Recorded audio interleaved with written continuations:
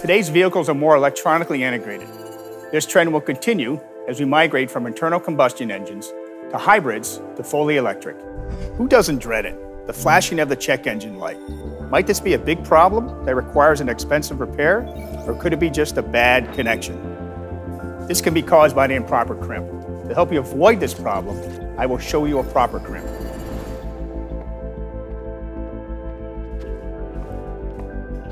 So what is crimping? You have a wire and a contact. They are connected together using a tool. What exactly happens while crimping?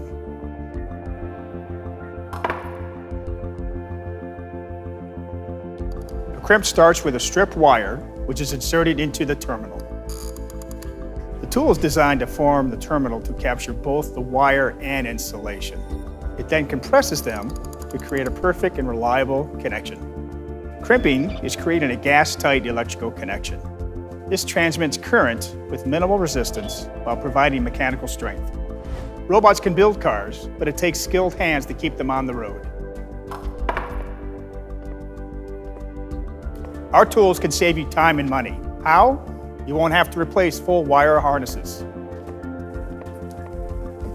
Electrical repairs can easily be made with confidence in your work. But how do you validate the quality of your crimps? We'll find out in the next video.